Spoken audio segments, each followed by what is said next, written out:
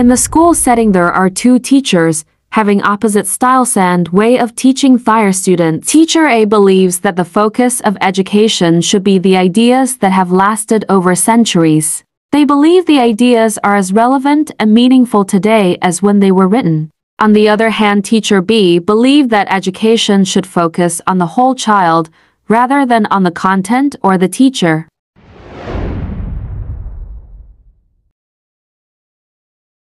Good morning, class. Good morning, ma'am. Good morning, Mom. Please stand for the prayer. Jessa, please lead. Yes, Mom. Let's bow down our head and feel the presence of God as we say, In the name of the Father, and the Son, and the Holy Spirit. Amen. God, our Father, look upon us with love. You redeem us and make us your children in Christ. Give us true freedom and bring us to the inheritance you promise.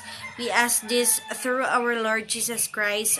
Amen. In the name of the Father, and of the Son, and of the Holy Spirit. Amen. Thanks, class. Have a seat.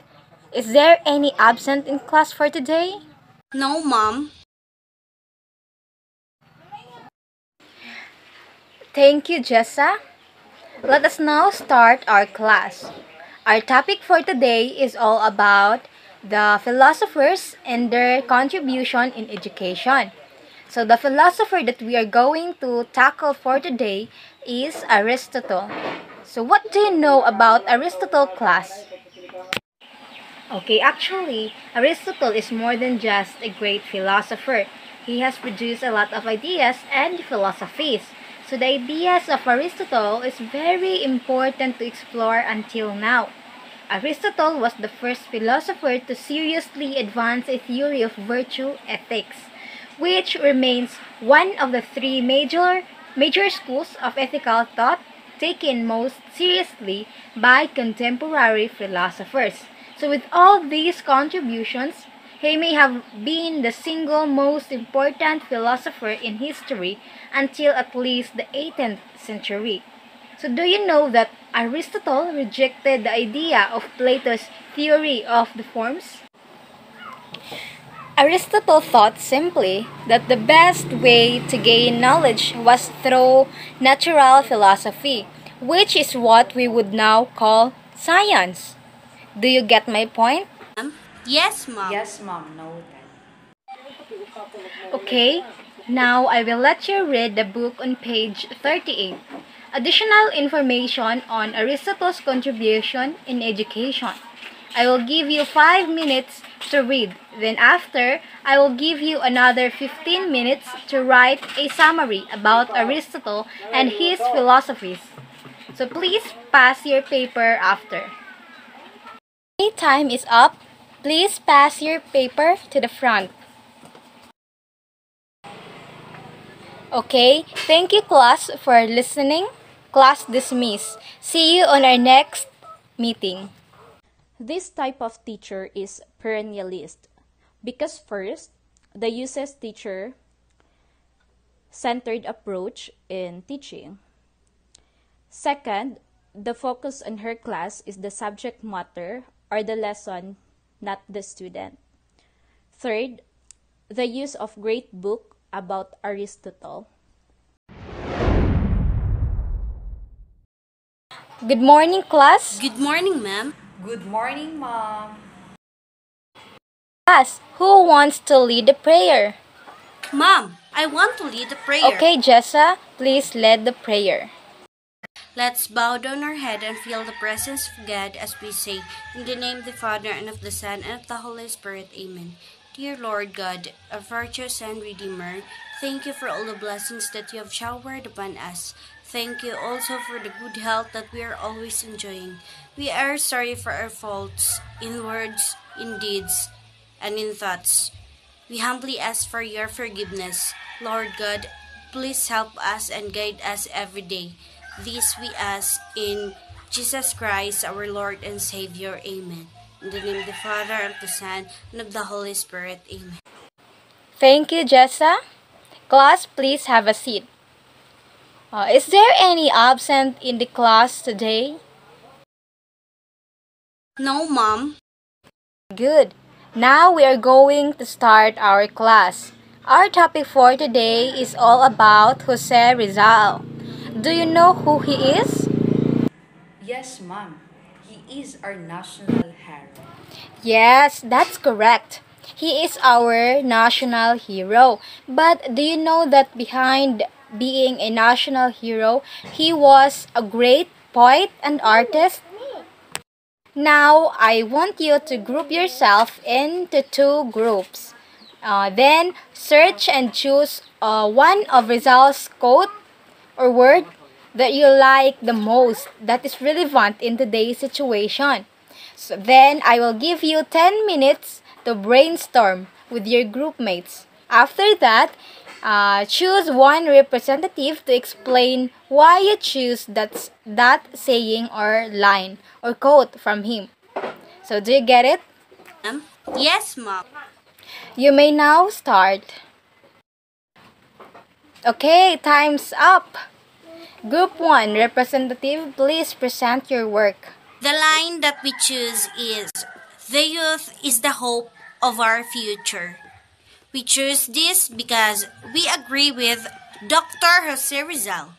It is truly as the youth is the hope of our future because the role of the youths in nation building is more important than you might think.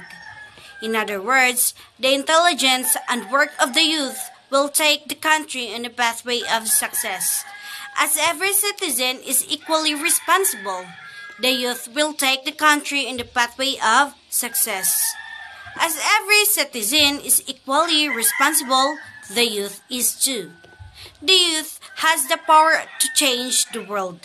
They are the ones who will take over everything. That is why it is very important to educate them. Develop them mentally, emotionally, physically, morally, and spirituality. And to develop the essence of nationalism and patriotism in their mind to make them more powerful in the future. Because youth have a role to renew and refresh the current status of our society, including leadership, innovations, skills, and so on. On the other hand, youths have also to maintain the culture of our culture. All good values in the society's development projects and many more. Importance of the youth. Youth is the backbone to any nation. That's all. Thank you. Thank you, Group 1. That was a very great work. I am so happy to hear that words from you. Now let us hear the Group 2 representative. Good afternoon, everyone. We choose the line He who doesn't know how to look back at where he came from will never get to his destination. This line is from Jose Rizal.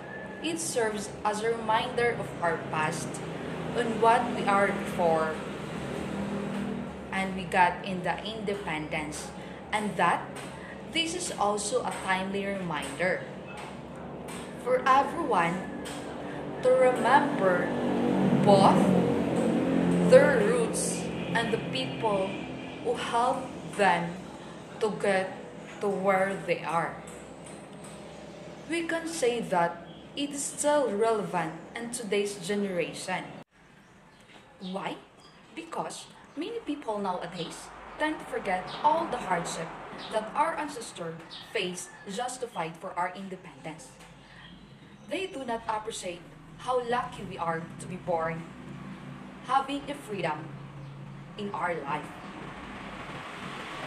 As what we can see in our government, there are a lot of corruption present nowadays.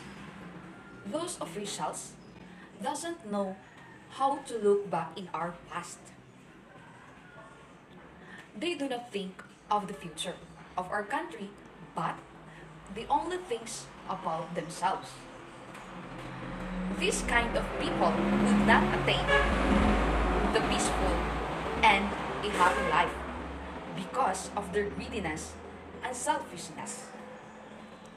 If all people would just love our country and can do anything to help our motherland, there would be no poverty and hunger and many societal problems that we are facing nowadays.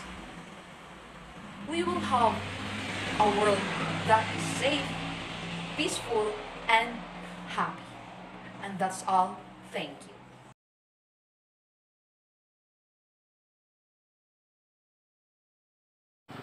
Wow, that was a very good speech, Group 2. It was very satisfying to know that you are considering things like that. I can say that you have the spirit of nationalism and patriotism in you. And that was a very good thing. Thank you for all your ideas.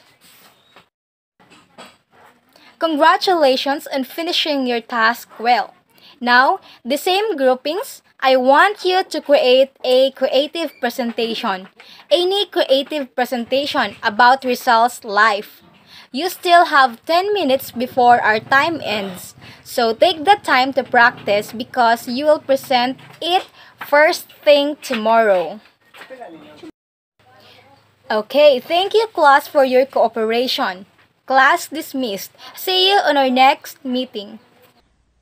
A progressivist teacher try making school interesting and useful by planning lessons that provoke curiosity. In a progressivist school, students are actively learning. The students interact with one another and develop social qualities such as cooperation and tolerance for different points of view. All these things mentioned were considered by Teacher B. To conclude, both perennialism and progressivism is a great ways of teaching the students in different ways. The purpose is both for the improvement of the students to prepare in the future.